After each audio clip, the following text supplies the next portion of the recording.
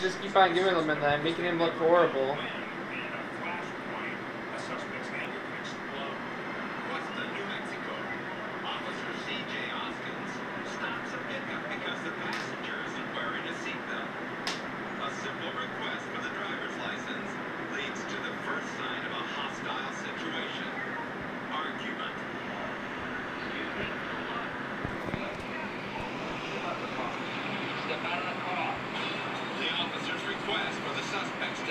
vehicle leads to the second sign of trouble, resistance.